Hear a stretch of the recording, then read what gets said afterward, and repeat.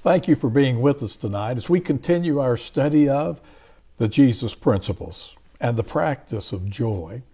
No doubt, in the Beatitudes, you have the most basic principles of the kingdom of God. Here we have the greatest sermon ever preached by the greatest preacher who ever lived. And so, when we follow those basic principles, our lives become more blessed. We have more joy, more abundant life.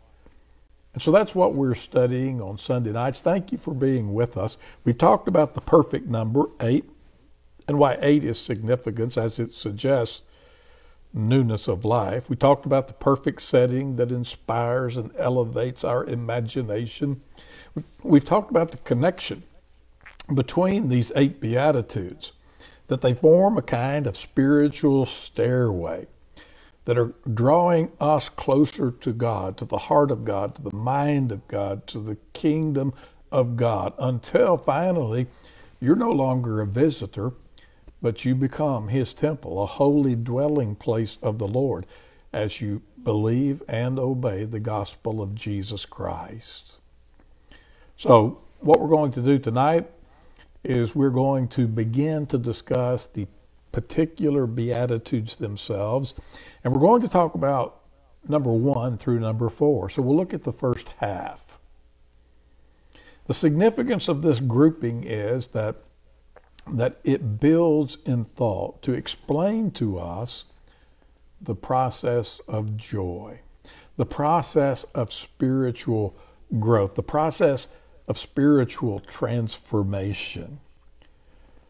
So Jesus is telling us, let me explain to you how this works. I'd like for us to uh, read these together and then we'll begin.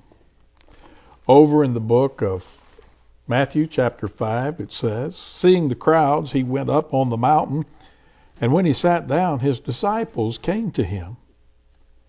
And he opened his mouth and taught them, saying, Blessed are the poor in spirit for theirs is the kingdom of heaven. Blessed are those who mourn, for they shall be comforted.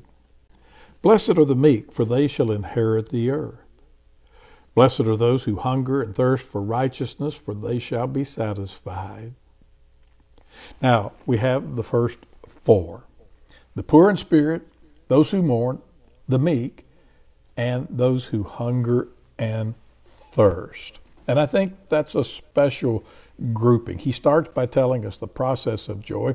He'll continue by telling us the priority of joy.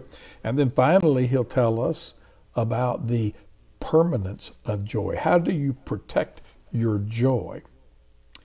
So, the first that we're going to look at is Blessed are the poor in spirit. And when you think about poor, it means you have less of something rather than more.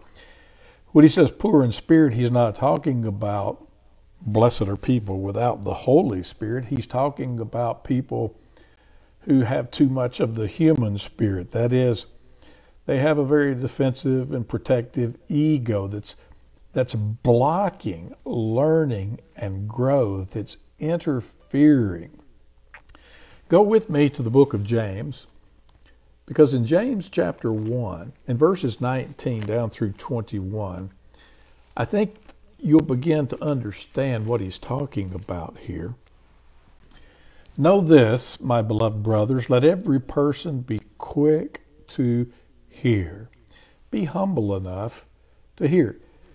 Shun that hubris, shed that conceit, that arrogance, that know it all attitude that makes it impossible for God to fill your heart and soul. Be quick to hear, slow to speak or to argue, and slow to anger, for the anger of man does not produce the righteousness of God. Therefore, he says, put away all filthiness and rampant wickedness, and receive with meekness the implanted word which is able to save your souls. I think he's telling us receive, be receptive, be inquisitive, be, be curious. Open yourself to the information God wants to give you that will accomplish transformation. You need to know Jesus. You need to know his teachings. And there's a special blessing that he mentions if you do. Blessed are the poor in spirit, for theirs is the kingdom of heaven. Kingdom. It's talking about the reign of God, the rule of God in your life. When you listen to Him and you're open to His influence, you see, this is where all of change begins. It begins with humility. And so the idea of the kingdom of God is, is, is, really twofold. On one hand, it may suggest becoming a Christian. If we go over to the book of Colossians, we read in Colossians in chapter 1, beginning in verse 13. He says, not Philippians, but uh, Colossians chapter 1, verse 13. He has delivered us from the domain of darkness and transferred us to the kingdom of his beloved Son, in whom we have redemption, the forgiveness of sins. Do you see the point here? Uh, that that as you become a Christian, you become a citizen of the kingdom. You're out of the kingdom of darkness, the domain ruled over by Satan, the deceiver, and you are brought into this kingdom of knowledge and wisdom and truth and the blessings that flow from that. You get redemption, you get forgiveness. So, what we want is to become a Christian. You can't become a Christian if you won't listen to the truth about Jesus. He is the Son of God. If you won't listen uh, to the conditions upon which we receive his blessings that come to us through his blood sacrifice at Calvary. He who believes and is baptized shall be saved. Will I listen not to what men say, but to what Jesus says? If I if I'll do that, I can become a Christian. But maybe it's talking also about not only entering and belonging to the kingdom, but but evidencing a life that is appropriate for one who is a citizen of the kingdom. So that people who look at you, it sends a message to them when they see your life. This is a life ruled by God. I think maybe it's both of these ideas. It's the joy of the beginning, and it's the joy of the end, the purpose, the objective of becoming more Christ like, more pleasing to God, as we not only are saved from our past sins, but we continue to hear the message of Christ and we begin to be transformed by his teachings. It starts with being poor in spirit, and then we're told, Blessed are those who mourn. You start with humility. And, then you need some honesty. And honesty can be painful. When we think about mourning, this is the pain of acknowledging what is not working in your life. It's not just a mild dislike, it's a, it's a, it's a revulsion. I don't desire that old life. I want a new life. I want a, a different life. And I mourn because of what I've missed out on.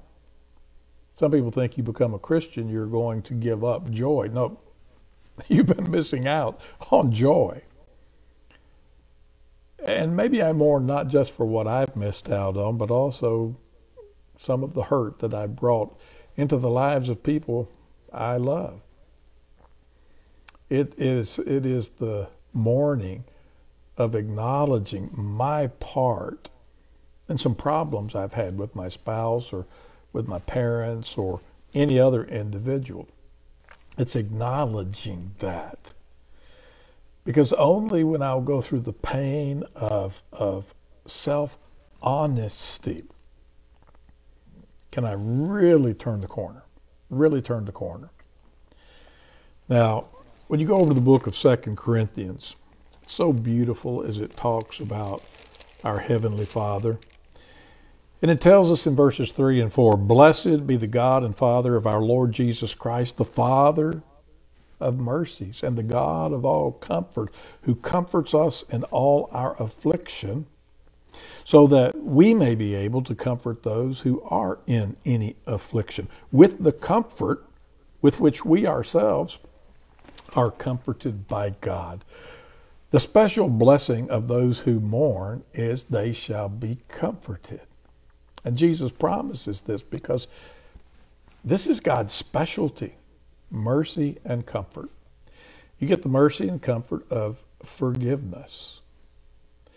But you also get the comfort of a far better life. You get healing in your relationships because you you stop hurting them. You own up to your part of the problem, your need for growth, your desire to change. Blessed are the poor in spirit, blessed are those who mourn, but now blessed are the meek. Now, what we're talking about here is the steadiness of self control. This is a little bit different from humility. What he's talking about is self discipline that God has given to us a free will and this God given power to make choices in accordance with what I've been hearing, in accordance with the purpose that I made to change my life, to repent, and to live for God. So I need meekness in my life. You know, an unruly life is just the opposite of meekness. An unruly life is a life of unhappiness because when you make decisions, they're all based on the short term pleasure it can bring, and pleasure is not joy. On the other hand, Jesus says, Let me tell you the secret to a blessed life it is self restraint. That's what meekness is talking about self restraint. Now, if I will be meek, the Bible says that I can inherit the earth. Isn't that an interesting expression? You know, when you go back in the book of Psalms, in Psalm 37 and verse 11, we find this phrase used But the meek shall inherit the land and delight themselves in abundant peace. I think the idea of inheriting the land, it's a, it's a proverbial expression. That God had promised the land and all of its fruits and all of its blessings. And so it's just a it's just an expression talking about what you will inherit, that is what you will receive from God. You're going to receive the very best life. You're going to thrive. You're going to flourish. And the chief characteristics that he mentions in Psalm 37 and verse 11 is delight and peace. You're going to delight in this abundant peace. This delight reminds me of joy. This is the practice of joy. But in the Old Testament, the idea of peace was shalom. It wasn't just the absence of some conflict with another individual, it was well being, it was health and wholesomeness of a, it's the sweet fruits of a godly life, a well ordered life, a life lived in harmony with the will of God. And I think that's what he says that you and I can enjoy. I think to be meek, first of all, talks about composure.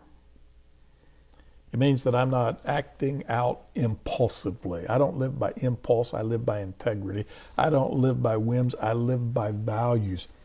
I have composure, but it's not just composure. Because meekness is also this holy determination that I will do constructive things. I will make constructive changes, goal oriented behaviors that are going to uh, honor God and that are going to uh, going to please Him.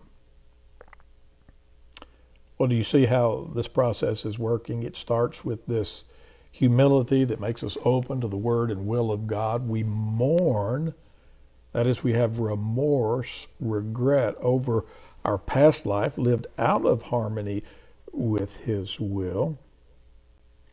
And now we bring our lives under His control by exercising the volition, the choice, the power of choice that He gives us to put away the past and pursue the dream life that Jesus makes possible. See, that brings us to the fourth of these Beatitudes. In the fourth Beatitude, blessed are those who hunger, hunger and thirst after righteousness. And what we're talking about here is the positive side. Mourning is the negative side that enables the positive side. And hungering and thirsting after righteousness, what is right, is the positive side. So, in other words, when you become a Christian, uh, in order to do that, there are things that you need to eliminate. That's mourning. And there are things that you need to cultivate. That's hungering and thirsting. Just as the body yearns for food and yearns for water, we ought to have some spiritual craving that that the incentive for completing holiness is craving holiness. First comes the desire, and then comes the dedication. So there's the, the combination of these ideas. Over in the Gospel of John, in the sixth chapter, you remember a wonderful discussion that Jesus was having with people right after he fed the 5,000. You remember they were looking for Jesus the next day and they couldn't find him. So they went in search. It says in verse 25 when they found him on the other side of the sea, they came to him. Rabbi, when did you come here? And Jesus answered them, Truly, truly, I say to you, you are seeking me, not because you saw signs, but because you ate you ate your fill of the loaves. Do not work for the food that perishes, but for the food that endures to eternal life, which the Son of Man will give to you. Well, as he began to talk about this, they said, Sir, give us this bread always. Listen to how Jesus responded in verse 35. Jesus said to them, I am the bread of life. Who, whoever comes to me shall not hunger, and whoever believes in me shall never thirst. You know, the special blessing of those who hunger and thirst after righteousness is that they will be satisfied. Jesus says, if you'll come to me, you'll never hunger, you'll never thirst. You'll find satisfaction for your spiritual longings. I remember over in the book of Ephesians when it, it's describing Jesus as the head of the church, and it's talking about the fact that we are his body. It talks about this filling and the satisfaction that comes from it. Listen to these words. It's talking about how Jesus uh, received all rule and authority and power and dominion above every name that is named and it says in verse 22 and 23 And he put all things under his feet and gave him his head over all things to the church, which is his body, the fullness of him who fills all in all. He fills us with grace, he fills us with love, he fills us with his blessings. And so it's a, it's a very beautiful picture of an abundant life where all the needs and all the longings, all the yearnings, all the cravings are met by our perfect Lord, by the forgiveness that He offers, by the wisdom that He provides, by the promises that He gives to us. Every need every need is satisfied. You know, sometimes I think life is like a treasure hunt. And the Bible is filled with clues that tell us where we can find earth's greatest riches. The Beatitudes, in particular, unlock the door behind which every precious gift of God where it is held. I know as parents, you watch your children go through life, you enjoy seeing them discover some of the secrets of life and how that hard work pays off. And high character has its advantages. And holy living brings blessings. And every time they're discovering these true riches it gives you joy. I think how much more our heavenly father must enjoy looking at our faces when we discover the things that he prepared in advance for us to find. And here in the Beatitudes, we're finding some great, some great treasures. But what happens if a person won't listen to this God's uh, to, to God's wisdom? What what happens? Well, it must break the heart of God because He knows that people are just going to have frustration and disappointment in their lives, not joy, not blessedness. Because you see, without humility, you're just not going to have the, the openness that enables change.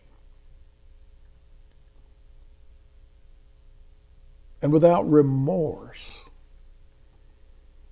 you're not going to have the ability to change.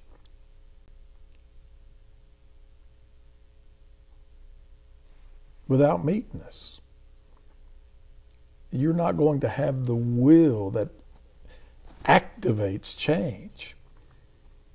Without passion, you're just not going to have the desire that drives change. So the Bible reveals to us this wonderful cycle of success. It is a spiritual cycle, a spiritual system of humility and mourning, of meekness and of hungering and thirsting after righteousness. Or as Jesus says, seek ye first the kingdom of God and his righteousness, and all these things shall be added unto you, all the riches of life that come through every spiritual blessing. You've got to want to know what is right. You've got to want to do what is right more than anything else in the world. And when you prioritize that, the blessings begin to flow. So you see this, this pattern of spiritual transformation. And Jesus gives us this gift.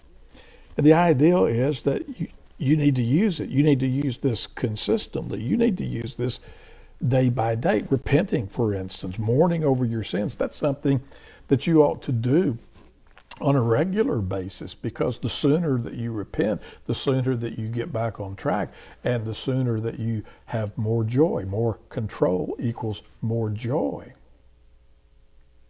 So, the idea of spiritual maturity is the frequency and the rapidity with which we can use this process of joy that He is revealing to us here. Open yourself to God's information. Mourn and eliminate what is wrong. There's something you need to purge. And then you need to exercise the choice to put that away and to pursue. You purge what is wrong and you pursue what is good. There are things that you are going to relinquish. There are things that you are going to resolve to pursue, that you're going to reinforce. It's how life works at its very best. And so we understand the Jesus principles that help us to practice joy. And the more you obey, the better your day.